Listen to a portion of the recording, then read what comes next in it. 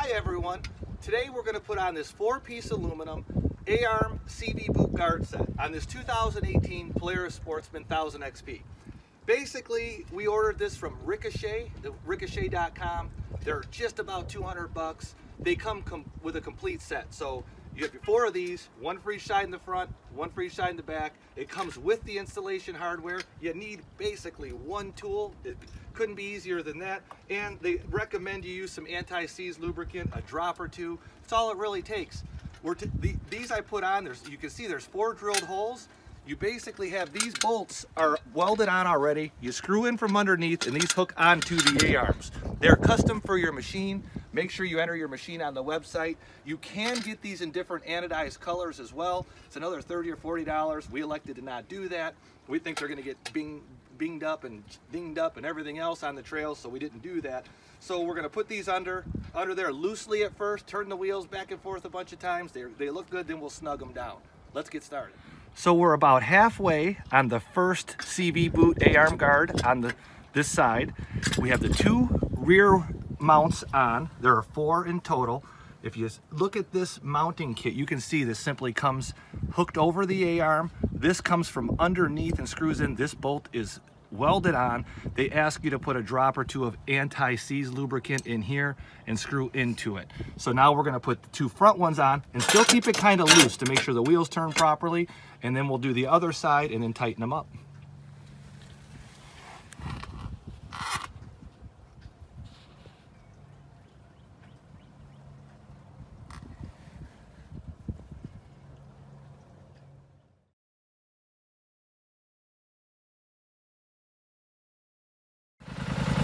Basically now we're just turning the wheels back and forth and just kind of getting a feel for will it grind or anything like that. And it won't. We haven't pushed in more towards the center. Seems to be working pretty good on this one. We might adjust them out just a little bit for more protection. We'll keep messing with this.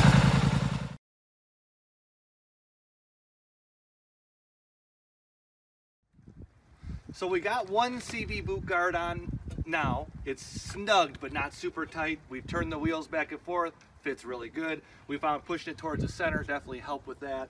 Um, the next one, we did each of the four of those individually. This time we put the four connectors you screw from underneath into these welded nuts. We're gonna try to do it loosely, put them on and just twist these over the, the A-arms and then snug them up that way and see how that works. We'll let you know in just a minute how that went. Go ahead.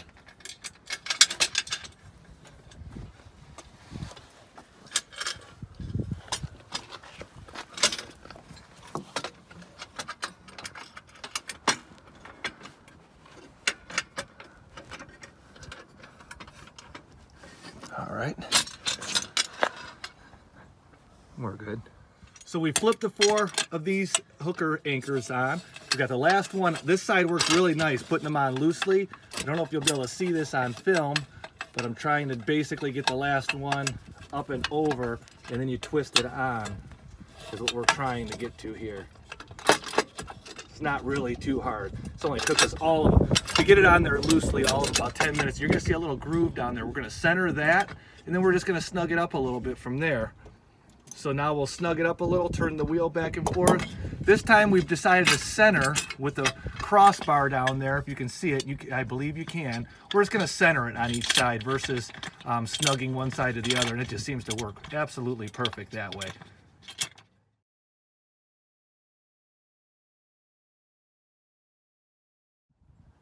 So now we're on the back, parked on a little bit of an angle in case it looks funny.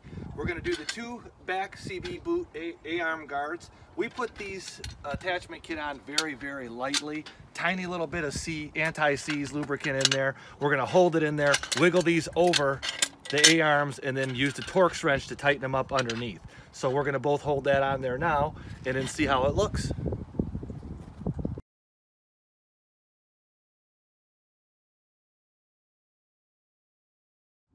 So we have the right side that we're looking at now on, and now we're gonna do the left. On the rears, just make sure you put the right size bolts through, or hooks, really hook clamps.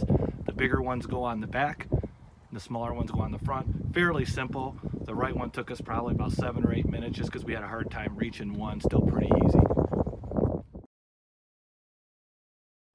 So we're getting ready to do the left side that we're looking at here, rear A-arm CV boot protector.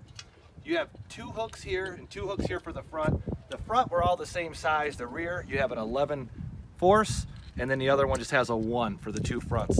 We're gonna put them on really loosely, the two rears and these. We put just a dab of anti-seize lubricant in the top of each nut.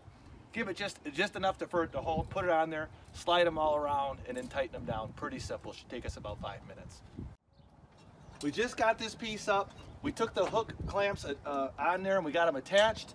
Now we're basically just gonna take this Torx wrench piece and tighten them down and we should be good to go. In the back, we're not too concerned with them rubbing the wheels as much so as we would be on the front, I don't think. Um, but it seems to be lining up really well. Really easy construction. Especially if you can get your machine up a little bit. Not doing this from your back would really be nice. Um, now, as you can see, that this, two of them snugged up just that quick. One of them in the back we have a little bit of a hard time getting to but for the most part, these are really, really easy. Would have been nice if you had a magnetic piece to hold your, your Torx wrench on your socket. Other than that, that's the only thing that's tricky for us is every once in a while it just falls off. But that's it. We'll snug these up just a little bit more and we'll be all set. All right, guys, we got all four of them on. We filmed, took pictures, screwed off a little bit. took us about an hour. If you just kind of came out and hit it, really wouldn't take you all that long.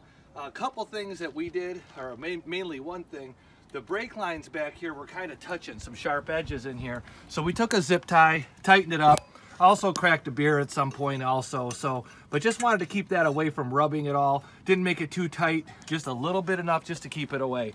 Uh, we'll see how this works on the trails, but I like the way they look. I think you will too. Give you a little extra protection. Thanks for stopping in.